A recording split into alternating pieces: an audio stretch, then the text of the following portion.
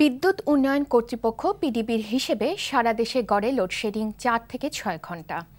তবে সাধারণ মানুষের অভিযোগ দিনরাত মিলিয়ে কখনো কখনো লোডশেডিং ছাড়িয়ে যাচ্ছে দশ ঘন্টাও। বড় কথা হলো, এই দুর্ভোগ থেকে দেশবাসী মুক্তি মিলছে না সহসায়। সরকারের নানা উদ্যোগের ফল এবছরও যেমন মেলেনি, তেমনি দু হাজার তেরো সালেও এ ভোগান্তি কমবে না বলেই আশঙ্কা বিশেষজ্ঞদের। বিদ্যুৎ সংকট নিয়ে রকুন উদ্দিনের চার পর্বের ধারাবাহিক প্রতিবেদনে প্রথম পর্ব আজ। ক্যামেরায় ছিলেন আয়নাল আহমেদ। বিদ্যুৎ সরবরাহ পাচ্ছি না আমাকে মাঠ খুব মনে করে ধান মারা যাচ্ছে পানির অভাবে লোডশেডিং করে মানে লোডশেডিং কারণে এই মানে মুরগি মারা যায় এই পোলট্রি শিল্পটা ধ্বংস হওয়ার হতে থাকে।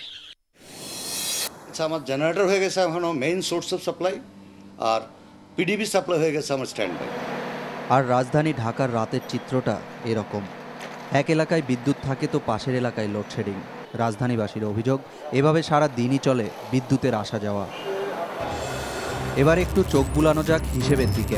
এই চিত্র দেখে মনে হতে পারে, গেল তিন বছরে বিদ্যুতের উৎপাদন বেড়েছে, হাজার মেগাওয়াটের খানিকটা বেশি। কিন্তু তা নয়।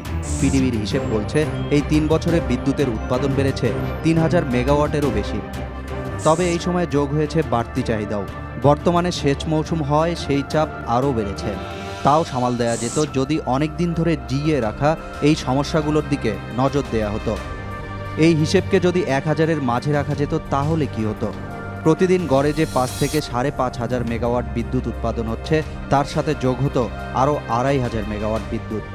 এসির লোড বিপুল পরিমাণে বেড়ে গেছে। আচ্ছা মানে বিষয়টা যে আপনারা আপনাদের যে প্ল্যানটা ছিল তার চেয়ে বেশি কনজাম করতেছে বিদ্যুৎ গ্রাহকরা। এর সাথে আরেকটা জিনিস সেটা হচ্ছে যে আমাদের কিছু ফুয়েল কনস্ট্রেইন আছে। কিছু ফান্ড কনস্ট্রেইনও আছে আমাদের।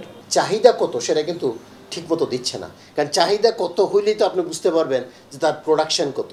তা তার প্রোডাকশন এখন সে বলছে পাঁচ হাজার মেগাওয়াট তাহলে চাহিদাটা কত? আমার হিসেবে চাহিদা এখন সাড়ে সাত হাজার মেগাওয়াট এ তো গেল এখনকার কথা।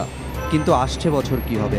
পিডিবির হিসেব অনুযায়ী এবছর সরকারি বেসরকারি মিলিয়ে একুশটি কেন্দ্র হতে বিদ্যুৎ পাওয়ার কথা দেড় হাজারেরও বেশি মেগাওয়াট এর মধ্যে মার্চ পর্যন্ত এসেছে তিনশো বিরানব্বই মেগাওয়াট। সমস্যা হচ্ছে বাকি বিদ্যুতের উৎপাদন। সরকারি কেন্দ্রগুলোর এই প্রথম তিনটি উৎপাদনে আসার কথা ছিল আগের বছর। এর মধ্যে গাজীপুরেরটি উৎপাদনে এসেছে আর বাকি দুটির কাজও শেষ হয়েছে আশি শতাংশের উপরে।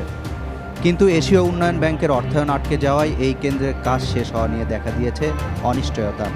আর এই কেন্দ্রটি নির্মাণে গত বছরের মার্চে চুক্তি হলেও কাজ শেষ হয়েছে মাত্র আঠারো শতাংশ। আর বেসরকারি খাতের এই চারটি কেন্দ্রেরও আগের বছর উৎপাদনে আসার কথা থাকলেও এসেছে এবছর বাকি বারোটি কেন্দ্রের দশটি শুধুমাত্র চুক্তি হয়েছে আর দুটি আছে চুক্তির অপেক্ষায়। তারপর ঋণপত্র খোলা, যন্ত্রপাতি আনা, সেগুলো স্থাপন সহ পরের সব কাজই বাকি।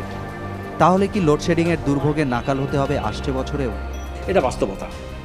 যে সবাই সবগুলো কাজ হাতে নিয়ে বাস্তবায়ন করতে পারবে না। নানা রকম জটিলতার কারণে কিছু কিছু প্রকল্প থেমে যাবে। সেই জন্য আমরা গত বছর এইটি পার্সেন্ট অ্যাচিভ করেছি। আমরা মনে করি এই অ্যাচিভমেন্ট যদি থাকে, তাহলে পরে এই সমস্যাগুলোর সমাধান করতে পারব আমরা। যে প্রক্রিয়ায় বিদ্যুৎ যে পরিকল্পনা বা যে প্রক্রিয়ায় বিদ্যুৎ খাত চলছে, তাতে কখনো লোডশেডিং মুক্ত হবে কি না সে ধারণা এখন পাওয়া যাচ্ছে না। তার উপর নতুন সংযোগের জন্য প্রতিদিনই যে আবেদন জমা পড়ছে সেজন্যও প্রয়োজন কমপক্ষে এক হাজার মেগাওয়াট।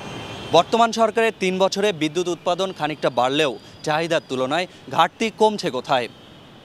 আর এখনও তো বিদ্যুৎ পৌঁছানো যায়নি দেশের অর্ধেক মানুষের কাছেই। তাই সরকারের মহাপরিকল্পনায় ইচ্ছে থাকলেও দু হাজার তেরো সালে তো নয়ই, তারপর ঠিক কবে লোডশেডিং মুক্ত হবে বাংলাদেশ? বিশেষজ্ঞদের মতে সে প্রশ্নের উত্তরও থেকে যাচ্ছে অন্ধকারেই। Rokon Uddin NTV news Dhaka.